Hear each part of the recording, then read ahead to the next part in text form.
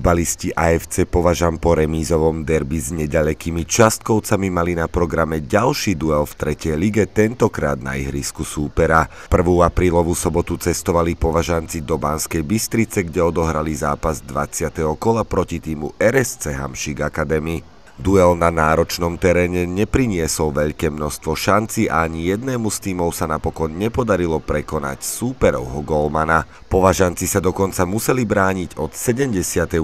minúty bez Pavlovčíka, ktorý putoval po červenej karte predčasne do šatne. Červenú kartu videl i domáci Abraham, keď v závere duelu atakoval jedného z považancov. Duel 20. kola teda priniesol dve červené karty, avšak žiadny gól a týmy si delili body do tabuľky, ktorej považanci aktuálne figurujú na 12. mieste. V sobotu sme odohrali, myslím si, že veľmi dobrý kolektívny, kolektívny zápas. Každý v tom zápase išiel na 100%.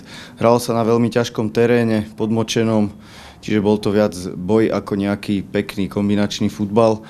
Ale všetci hráči, ktorí nastúpili, tak odozdali na ihrisku maximum a s bodom sme boli nakoniec spokojní. Dohrávali sme posledných 15 minút bez vylúčeného Matúša Pavlovčíka a po zápase sa tam ešte taká strkanica trošku zbehla a domáci hráč dostal tiež červenú kartu, lebo uderil do tváre nášho hráča.